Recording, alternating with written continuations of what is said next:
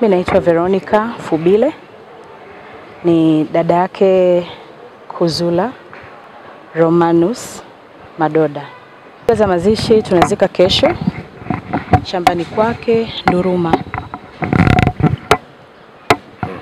Marehemu wangapi? Marehemu ana watoto watatu wa kiume wote, Ariel, Arthur na Alvin.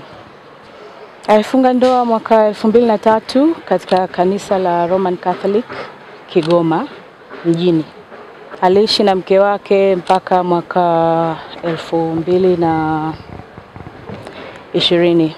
Hawajatalakiana, hawajawahi kutalakiana, hawajawahi kuachana, ila hapa katikati Madoda alienda ku file divorce ambayo kesi yake ilisikilizwa Ijumaa iliyopita, lakini alivyofika anaulizwa unachotaka ni nini kwenye hii kesi, hakudai divorce Ijumaa.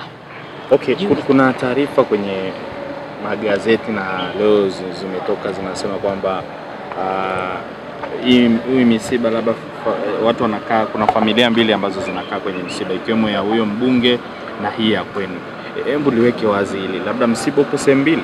Haituhusu hiyo, sijui. Mimi najua msiba huko nyumbani kwake Njiro. Kama kuna msiba sehemu nyingine, taarifa za kwenye mitandao hazituhusu sisi kama familia. Sisi tunaendelea na yetu eh, sisi tunaendelea na msiba. Mimi wito wangu kwa watu wote, watu wote, Madoda ni mtu wa watu.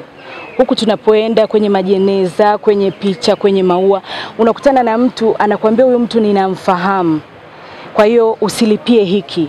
Umeona, tuachwe tumzike ndugu yetu kwa heshima ambayo anastahili tuachwe tumzike, tumpumzishe kwa heshima ambayo anastahili, kama mume, kama baba, kama kaka, kama mtoto. Hicho tu ndo tunachoomba, na yeyote ambaye anataka kushiriki, hatuwezi kumzuia, hatuwezi kumzuia mtu yoyote anayetaka kushiriki, ila tunaomba nidhamu.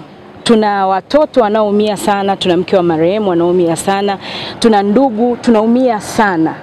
Tunaomba, hatutaki drama kwenye hili, hatutaki drama kabisa. Ndio maana jana kuna baadhi ya kwenu tulikuwa tunawaambia, hebu mtuache tuzike. Kilichoko mbele yetu sisi ni kumpumzisha